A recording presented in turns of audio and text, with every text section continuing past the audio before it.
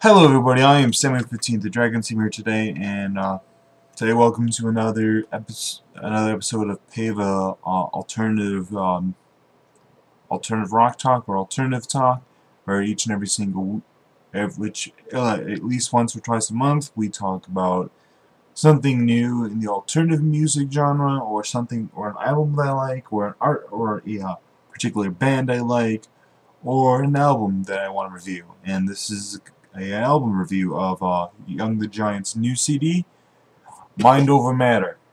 And um, for those who are clicking one of my videos for the first time, uh, this is the only picture you'll receive. There are no fancy images. I won't show you any clips from uh, any of the videos. And I won't even show you any of the song. Uh, let you listen to any of the songs because YouTube's a butt. Um, so yeah, you're just hearing my voice and seeing the, the album artwork for uh, Young the Giant's new CD, uh, new CD, Mind Over Matter.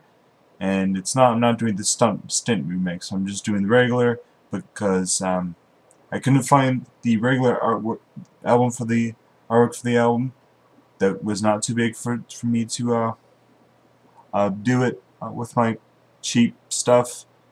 And furthermore, I just did not notice I had stint, stint remix until right before I clicked play. So without further ado, let's dive right into uh, what I think of the uh, album. Now, this album is their second, is Young the Giant's second album, album, and uh,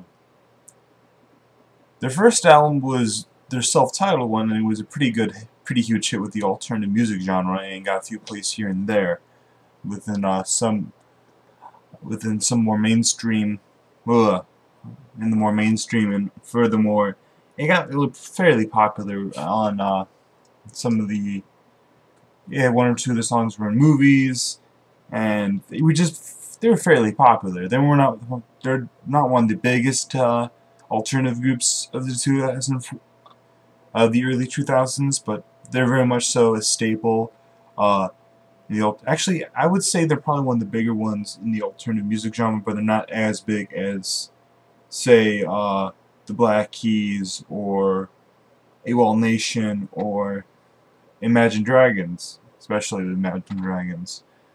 But this is a very good album anyway. They're a very good group anyway, and if you know Young the Giant, if you're if you're even somewhat current with the alternative uh, genre, you know who Young the Giant is.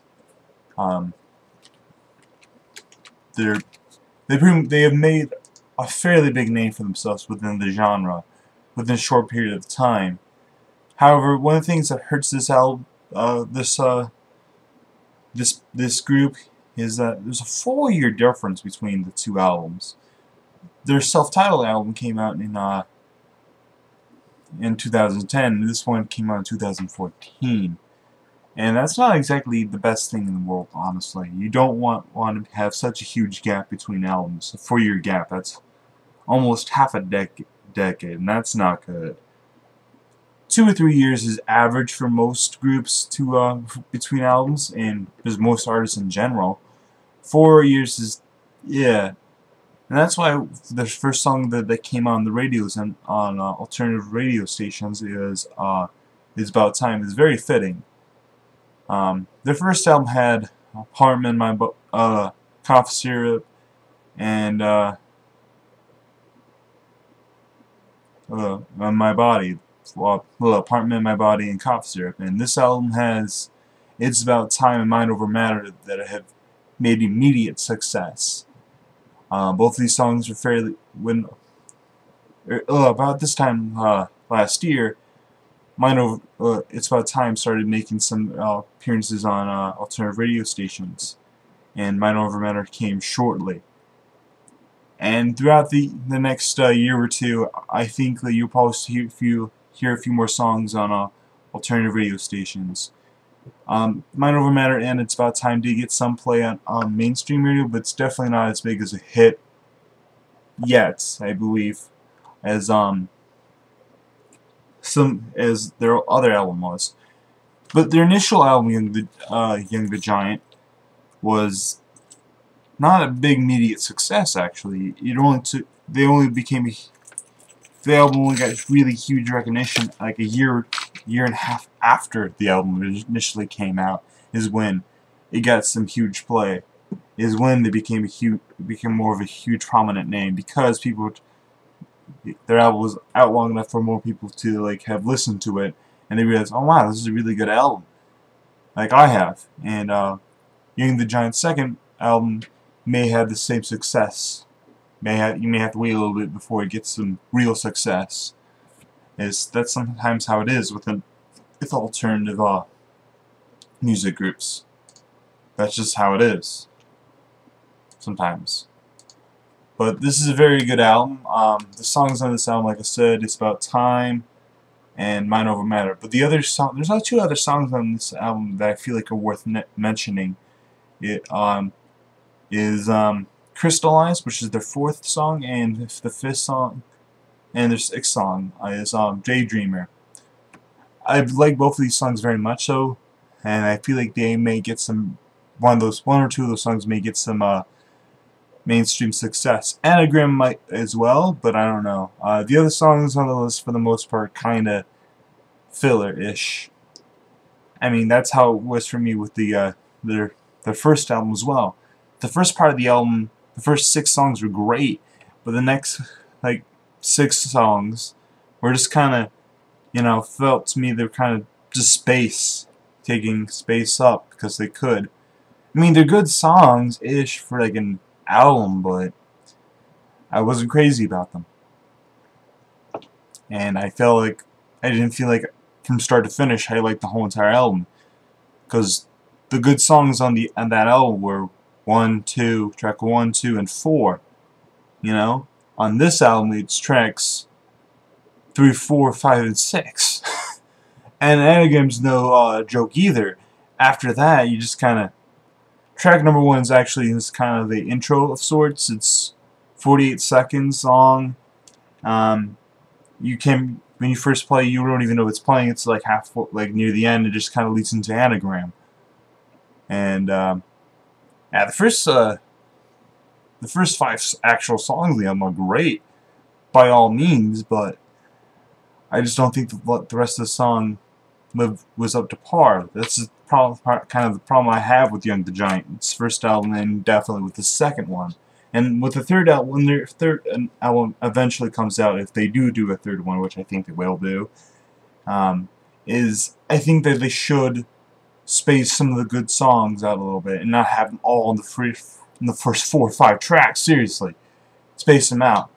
You don't ever really want to put all the great, all the big hit songs that you think will be on the radio stations right like within the first half of the album, you know? Because at that point, what's the point of just listening to the rest of the album, you know? That's how I felt with the first one, and, and that's how I kind of felt with the second one. However, I do think this the uh, filler and Mind Over Matter is better than the first album. I will do. I think I I do agree with that. Is their first is Mind Over Matter better than their uh, debut album? Album? I don't think so. I think it's almost as good, but I don't think the second one lives too much up to the uh, expectations I was going into this album.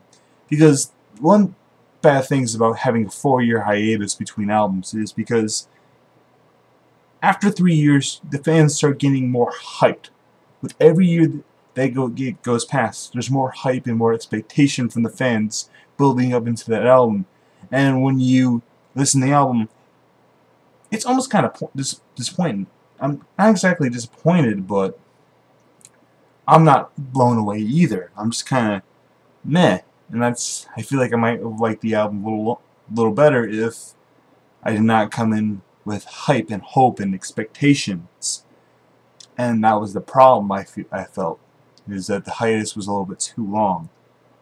But the album itself is actually a pretty decent album. It's a pretty good album for all, you know, an alternative speaking, to be honest.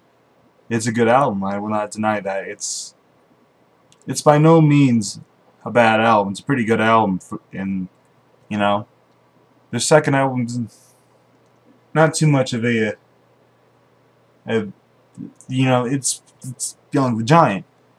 You know, I feel like they pretty much lived up to most of their expectations, I believe. I just felt like they maybe should have released this album last year. Or, no, they should have released this album in 2012. And that's how I feel like it should have been. That's how I really feel like this album would have had a little bit more success two years ago. Maybe, fun, maybe a year and a half ago, but I still think that this album was a little late, you know. But that's just me. Um, that's just my opinion. I do still like the group as much as I did going into the uh, this album. The only thing it changes for me in terms of liking and the Giant is make me more anticipated for the next album. You know, there's some great songs on this album. Don't even my favorite song on this uh, album is probably my is probably uh, Daydreamer. That's my favorite. That's my personal favorite song on the album. But I like that song a lot. That's my personal favorite song. Was uh, was uh, Cough Syrup off their first album, and I feel like my my uh, uh, Daydreamer is actually my favorite song by them in general now. Uh, I do believe if you like Young the Giant, you will like this album. If you do like some of the new alternative, the, like this, some of the newer alternative, like with a kind of poppy sound to it, I guess, then you'll definitely like Young the Giant as well. Uh, it's a good album for Young the Giant. Like I said before, uh, good songs. Um, one of the problems, another problem I felt was like around track, I believe eight to ten. I feel like yeah, I think it was like uh, number 9 or 10 that I thought it was like the end. No, it was number 8 that I feel like that it was a little too long, that song, because, alright, this is the last song the album, I think. Is it? No, no, no, it's not. They have a bunch more songs left to go. Oh. And I think that's part of the reason why, you know, I felt like there's nothing really good. I mean, it's decent. It's solid. It's solid filler stuff on you would expect, you know. Um, I like the actually do like the intro to be honest. The the number one track, Slow Dive. I do like that. It's a nice build up into anagram. It's a nice. When I first heard it, I'm like, is, is the album playing? like, no, it is playing, and like it got me hyped. And anagram got me hyped for the album and it's about time and Crystallized a mind over matter daydreamer just kept that going that momentum going and then in track 7 just kind of stopped it just really just hit a brick wall. Um, so tracks 1 through 6 is pretty much what you really want to listen to. The rest of the album is just kind of meh. But you know have six good songs you know you have six five or six good songs and that's pretty good. I'm not even lying that's that's decent. You know, I just wish they kind of spread it out throughout the album a little bit, you know. That's my big issue with this album. Now, I probably said this a good 500 times, and now the um, this video is going a little too long, just hearing me ramble and repeat myself. So, I do believe this is a pretty good album. Despite the several flaws I had, some of the stuff I, I felt was wrong with the album, it is a fairly good album. But it's a good it's a good way to continue uh, the momentum of Young the Giant. I feel like there will be a prominent uh, alternative group throughout the 2000s. I think this might be one of their uh, lower albums a little bit, not necessarily. I think in terms of just album alone, if you don't think of the whole entire songs on the, the good songs, or just in like album as a whole, this might be a bit lower. But hopefully they learn from their mistakes and spread out through the throughout the album. But the four good, four or five good songs do make up for the fact that they're not spread out. And I do like the, the songs that are the, the first half of the album very much so, actually more so than the uh, first half of uh, their first de their debut album. So um, I do like this album. The last album, their debut album, I gave like 8.2, though I never did a review, official review on that. And this album, I'm gonna do a seven, a 7.8. Um, I do feel like there's plenty of improvements they could do. Um, I do like, actually, yeah, 7.8 I think is, no, 7.6, yeah. But I do like this album a lot. This was a good album. Um, so yeah, that's my review. And I hope you guys enjoyed this video with, with me even rambling like that. So please like, subscribe, and I'll see you guys uh, next time.